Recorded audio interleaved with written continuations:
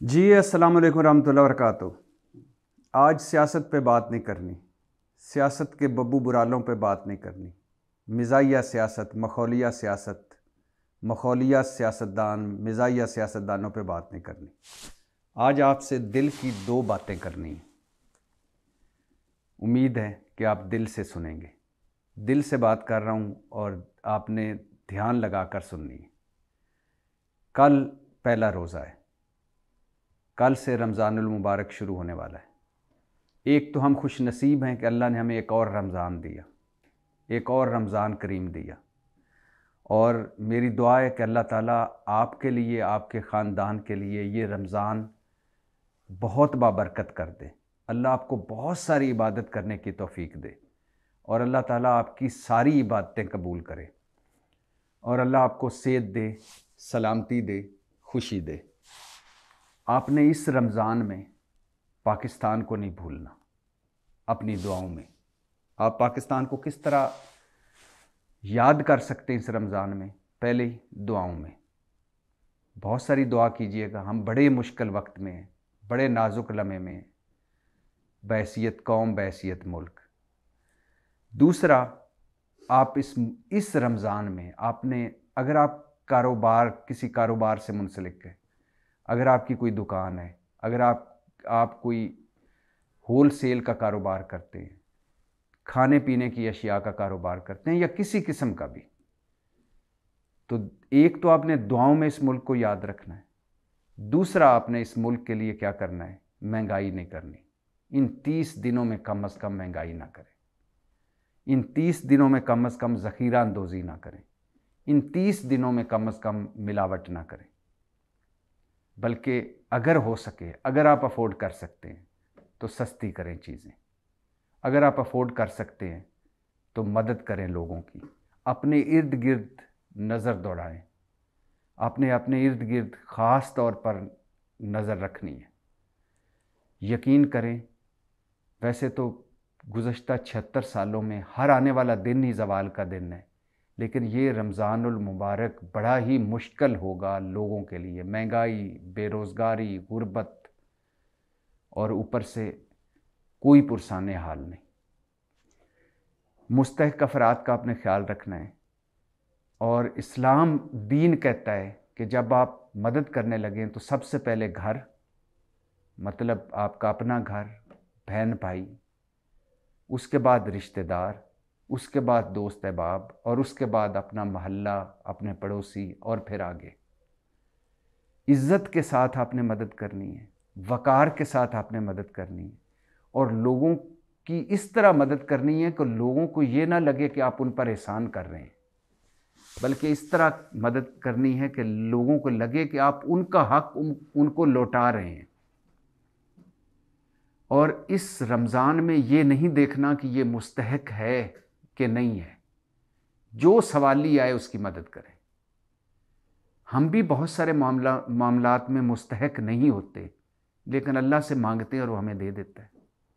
तो जब अल्लाह देते हुए हमें ये नहीं देखता कि मैं मुस्तहक हूँ कि नहीं हूँ, मैंने मज़ीद इसे देना है कि नहीं देना, मेरे अकाउंट्स में पैसे पड़े हैं, फिर भी दिए जा रहे हैं। मेरे घर में एक गाड़ी है, दूसरी दे देता है। मेरे पास एक प्लाट है, एक घर है, दूसरा प्लाट और दूसरा घर दे देता है। तो आप भी कम अज़ कम इन तीस दिनों में ये मत करें कि ये मुस्तक है कि नहीं, ये प्रोफेशनल है कि नहीं। जितनी तोफ़ीक है, दें। खिलाएँ लोगों को इफ़ार करवाएँ, सैरियाँ करवाएँ, लोगों की मदद करें, लोगों के किचन का ख्याल रखें। आपने ये ज़रूर करना है। हज और उम्रों का सवाब बिखरा पड़ा है। यकीन करें, आप एक इंसान, एक भूखे को अगर आपने खाना खिला दिया, एक घर की इफ्तारी या सैरी कर दी, एक आपने अपना इस एक महीने में अपना प्रॉफिट आपने कहा कि नहीं लेना, एक महीने में अगर आपने मिलावट नहीं की, बेरोज महँगाई नहीं की ज़ख़ीरा अंदोज़ी नहीं की, एक महीना अगर आपने ये सिर्फ़ अल्लाह से तिजारत कर ली, उससे तिजारत कर ली जो इतना मुनाफा देता है कि बंदा दंग रह जाता है, एक महीना। तो अगले ग्यारह महीने आपको कुछ करने की ज़रूरत नहीं। तो लिहाजा रमज़ान है और इसकी रूह को समझिएगा और रमज़ान को उस तरह गुजारिएगा जिस तरह नबी सल्लल्लाहु अलैहि वसल्लम ने कहा है। और आखिरी बात, मैं भी इस मरतबा कोशिश कर रहा हूँ कि कुरान को तर्जमे के साथ पढ़ूँ। आप भी अगर अल्लाह ने आपको, अल्लाह आपको मौका दे तो तर्जमे के साथ पढ़िएगा। एक तो कुरान हम सुनते हैं जो मुकम्मल होता है अल्लाह आपको वो सादत भी दे, लेकिन तर्जमे के साथ अगर पढ़ लें, एक मरतबा तो कमाल हो जाए। और जहाँ रमज़ानमबारक है, वहाँ आज मुझे यकीन करें, फ़लस्तीन बहुत याद आ रहा है। वैसे तो कश्मीर, वैसे तो शाम, वैसे तो इराक़ थोड़ा सा बेहतर हो गया है, लीबिया थोड़ा सा बेहतर हो गया है। भारत के मुसलमान और बहुत और बांग्लादेश के कैंपों में, बिहारी कैंपों में मुसलमान और हमारे पाकिस्तान में वो मुसलमान, वो हमारे बहन भाई जिन जो बुनियादी ज़रूरियात से महरूम हैं, सब याद आ रहे हैं, लेकिन फ़लस्तीन बहुत याद आ रहा है।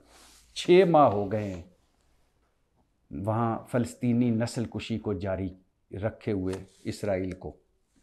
छः माह में इसराइल ने कोई ऐसा हथियार नहीं जो नाजमाया हो। छः माह में इसराइल जो हथियारों का बहुत बड़ा एक्सपोर्टर है, सप्लायर है वो उसने लेबॉर्ट्री बना दी है फ़लस्तीन, मज़लूम फ़लस्तीनियों को हर हथियार आजमा कर और फिर उसकी मूवीज़ वो दिखाता है। अब बाकी जिनको असला बेचा जाता है कि ये देखें, ये गोली यहाँ इस्तेमाल हुई, कितनी कारामंद। ये बम यहाँ इस्तेमाल हुआ। ये गन यहाँ इस्तेमाल हुई। फल, फ़लस्तीन की इस वक्त हालत ये है कि मुर्दों के लिए कफन नहीं है, ज़ख्मियों के लिए दवा नहीं है, भूखों के लिए रोटी नहीं है और प्यासों के लिए पानी नहीं है। बेघर हो चुके हैं लाखों लोग, खुले आसमान तले पड़े हैं। और कोई घर ऐसा नहीं बचा जिसके अज़ीज़ बारूद का लुकमा ना बन चुके हों, शहीद ना हो चुके हों। अगर कोई बच्चे हैं तो माँ बाप उनका नहीं है। अगर कोई माँ बाप हैं तो उनके बच्चे नहीं हैं। ज़रा सोचिए। जैसे इस रमज़ान में मुझे भी अपने ख़ास तौर पर बेगम, वालदा और वो चंद दोस्त जो बहुत करीब थे और जो पिछले कई रमज़ानों में साथ थे, जो नहीं हैं, सोच के दिल मुँह को आ रहा है। सोचिए कि घर, हर घर में जो प्यारे थे, वो इस रमज़ान में साथ नहीं होंगे। फ़लस्तीन दुख देता है और इसमें मज़ीद दुख में इजाफ़ा होता है उम्मत मुसलमा को देख के। उम्मत मुसलमा का किरदार शर्मनाक मुसलमान मुल्कों का किरदार शर्मनाक मुस्लिम उम्मा का किरदार शर्मनाक ओ आई सी का किरदार शर्मनाक। और सब वसाइल के होते हुए कुछ ना कर सकने वाले अरब ममालिक का किरदार शर्मनाक। सफारती छो, छोड़ें उनके साथ जाकर लड़ना। नहीं आप लड़ सकते ज़ाहिर है आप नक को नक अमेरिका के ग़ुलाम हैं। नक आपका सारा कुछ मगरब में पड़ा हुआ है छोड़ दीजिए। आप अपनी अयाशियाँ नहीं छोड़ सकते। सफारती बाइकआउट ही कर लेते। अगर इतनी हिम्मत भी नहीं थी, तिजारती बाइकआउट ही कर लेते। इसराइल की अगर पूरे चौवन पचपन मुल्क एक दिन बैठ के कहते कि हमने यहूदियों की कोई चीज़ नहीं खरीदनी, कोई इसराइल की चीज़ नहीं खरीदनी तो वही काफ़ी होता, लेकिन वो भी नहीं किया। यहूदी अक्सर हिटलर को कहते हैं कि वो बड़ा ालम था, उसने यहूदियों की नस्ल कुशी की। लेकिन जो कुछ फ़लस्तीन में हो रहा है, आप हिटलर को सामने रखिए और इसको देखिए, एक मेरे सामने ट्वीट आया है उस वेबसाइट से जो इंसानी हकूक़ के लिए काम करती है। और ये शाया भी हुआ है ट्वीट। देखिए, हिटलर और इसराइल में क्या फ़र्क रह गया है? नाजी मतलब हिटलर, नाजी जो हिटलर के हामी थे, वो कहा करते थे कि उनकी नस्ल सबसे आला है। इसराइली भी कहते हैं कि हम, हमारी नस्ल मुंतखब करता है। यानी सबसे आला है।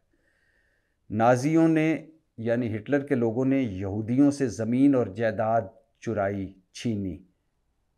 इसराइलियों ने फ़लस्तीनियों से ज़मीन और उनकी जायदाद, उनके घर छीन लिए। यहूदियों ने, नाजियों ने यहूदियों को भूखा मारा। इस इसराइली फ़लस्तीनियों को भूखा मार रहे हैं। नाजी यहूदियों के साथ चूहों और कीड़ों, मकौड़ों की तरह बर्ताव करते थे। हिट, ये इसराइली भी फ़लस्तीनियों के साथ इसी तरह का सलूक कर रहे हैं। नाजी यहूदियों की नस्ल को अपनी सरजमीन से बे, बेदखल कर कर दिया उन्होंने। ये इसराइली जो हैं, ये भी फ़लस्तीनियों को उनकी ज़मीन से बेदखल कर चुके हैं और कर रहे हैं। नाजी मुस, जो मुसलसल प्रोपेगंडा करने वाले थे, ये भी मुसलसल प्रोपेगंडा करने वाले ना, नाजी यूरोप से कहते थे, तुम लोग इनकी यहूदियों को क्यों नहीं ले लेते जिनके दर्द जिनके दर्द में तुम पागल हुए जा रहे हो? इसराइली भी अरब ममालिक से यही कहते हैं, तुम इन फ़लस्तीनियों को गोद क्यों नहीं ले लेते, जिन्हें हम बेदखल करना चाहते हैं? नाजी कहा करते थे कि यहूदी बच्चे भी बराबर के मुजरम हैं। इसराइली भी कहते हैं कि फ़लस्तनी बच्चे भी बराबर के मुजरम हैं। नाजियों ने यहूदियों के ख़िलाफ़ नस्ल कुशी की, इसराइली भी अब फ़लस्तियों की नस्ल कुशी कर रहे क्या फ़र्क रह गया? बहरहाल, ये ये दुनिया मफादात की दुनिया है, जज्बात की नहीं। ये दुनिया जिसकी लाठी, उसकी भैंस। यहाँ ताकत का निज़ाम है ताकत का असूल है। ताकत ही सब कुछ तय करती है। हम क्या कर सकते हैं? बहुत कुछ कर सकते थे। कम अज़ कम ईमान की दूसरी किस्म, हाथ से नहीं रोक सकते। ज़ुबान से बुरा कहो, दिल से बुरा कहो। हो सके तो मदद करो। रमज़ान मुबारक है। इसमें आप वो सब कुछ करें जो कर सकते हैं, जो इंसानियत के लिए अच्छा है, जो आखरत के लिए अच्छा है। पाकिस्तान जिंदाबाद।